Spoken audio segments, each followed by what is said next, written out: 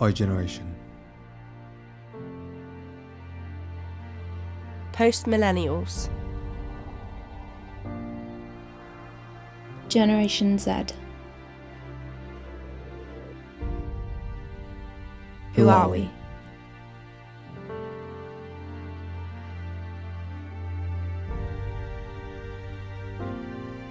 Hi, my name is James.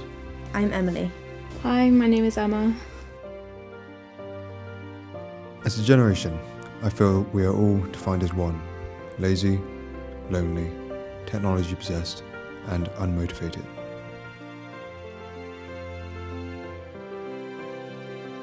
I've never had style or identity forced upon me.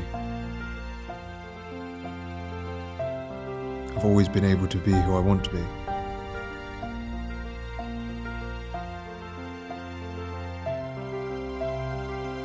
My identity is constantly changing. Social media influences my every outfit, haircut, and daily choices.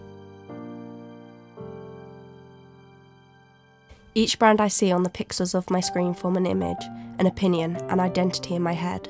I think to myself, is that who I want to be today? My decisions, influenced by the brands and promotion on social media.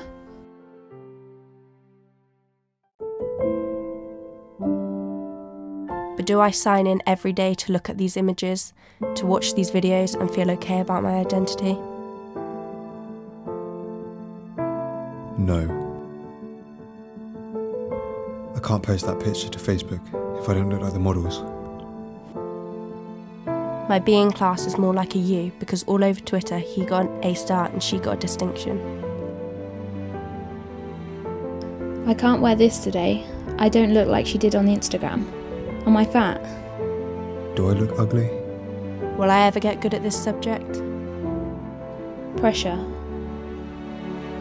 Social media creates unwanted pressure and impossible expectations. But I can't imagine life without it. It connects me to all of my friends and family, always in conversation, wherever I am and wherever they are.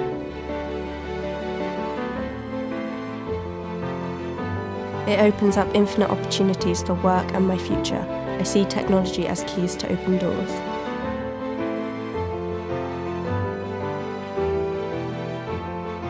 It's a part of who I am.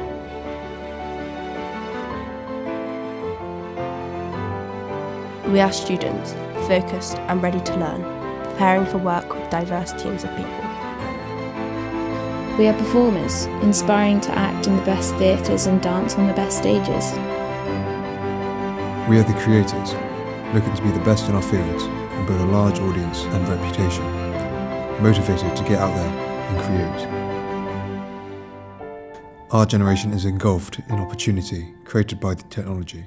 Our generation is individual. Our generation is motivated.